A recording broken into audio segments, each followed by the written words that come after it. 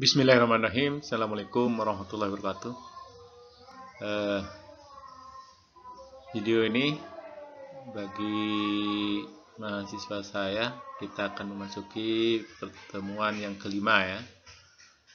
Kita akan membahas solusi persamaan linear simultan dengan eliminasi Gauss, eliminasi Gauss-Jordan, iterasi Jacobi, iterasi Seidel, sedangkan materi terakhir dekomposisi Crude dan dekomposisi Koleski nanti tergantung apakah waktunya masih memungkinkan untuk disampaikan. Seperti yang sudah dijelaskan pada waktu pertemuan sebelumnya, bahwa dalam penyelesaian sistem persamaan linear simultan itu, pertama kita bentuk ke dalam sebuah metrik. Jadi nanti yang terjadi adalah bentuk A kali X sama dengan B ya. Nah, sedangkan A itu konstantanya, X itu variabel yang akan kita cari dan B adalah hasil penyelesaiannya.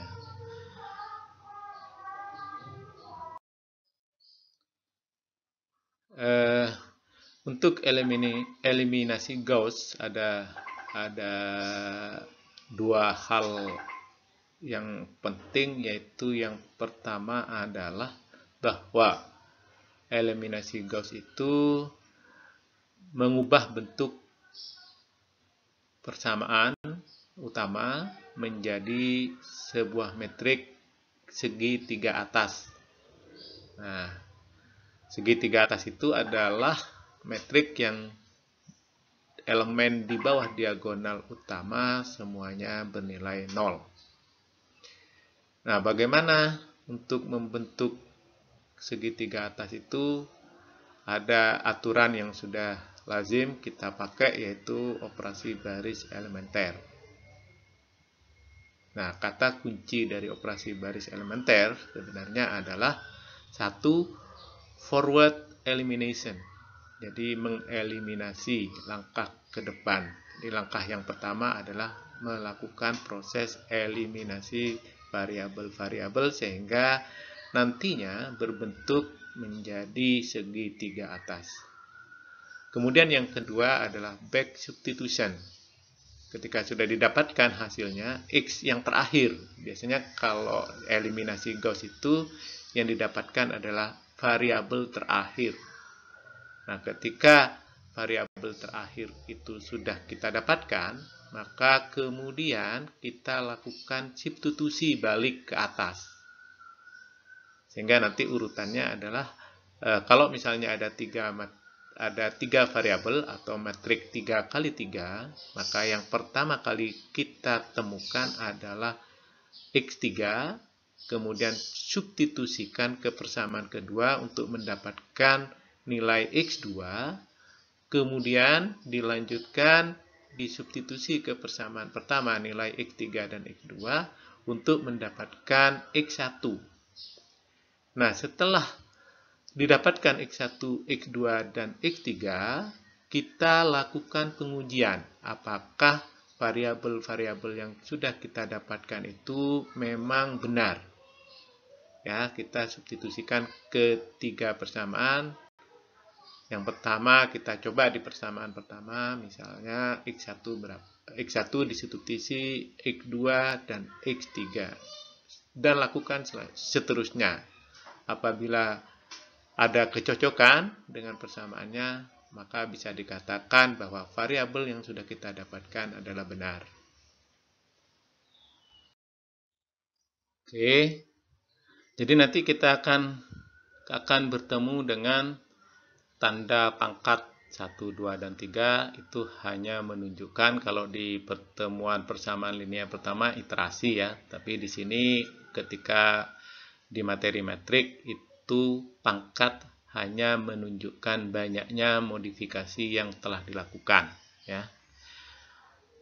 E, kemudian ada penjelasan itu ya. Proses eliminasi terdiri dari tiga operasi dasar. Yang pertama adalah pertukaran, yang kedua pengskalaan, yang ketiga penggantian ya. Ini yang lazim disebut dengan eh, operasi baris elementer ya. Mungkin di kuliah aljabar linear dijelaskan lebih lebih banyak dibandingkan di metode numerik.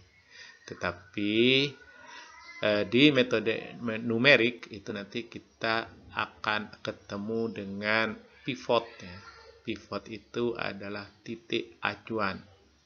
Nanti akan saya jelaskan di kuliah online-nya.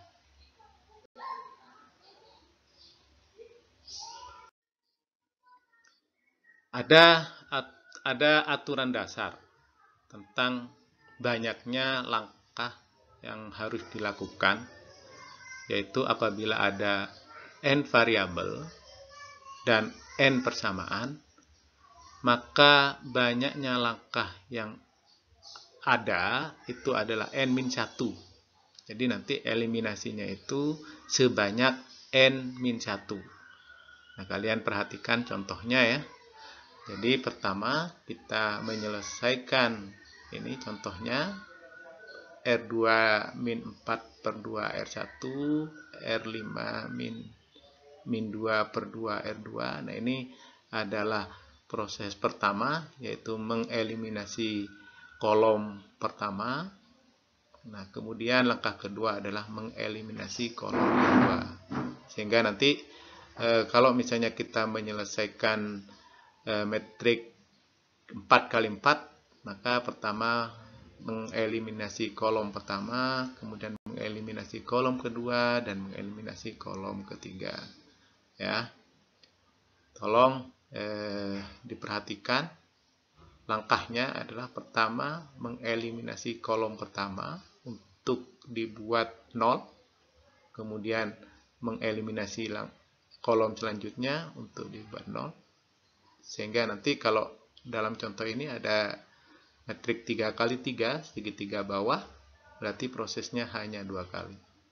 Nah, sebaiknya kalian nanti coba dengan Excel ya. Kalian coba dengan Excel. Nah, ini yang 4 per 2 ini, ini berasal dari elemen baris kedua, jadi A21 per A11. Penjelasan lebih lengkapnya nanti akan saya jelaskan di kuliah online. Oke, mungkin itu dulu pengantarnya eliminasi Gauss. Eh, tolong kalian baca-baca dulu ya buku buku-bukunya. Kita ketemu di perkuliahan dan untuk mengisi waktu silahkan kalian coba kerjakan beberapa soal ini ya. Okay, see you next again. See you next time, sorry. See you next time. Assalamualaikum warahmatullahi wabarakatuh.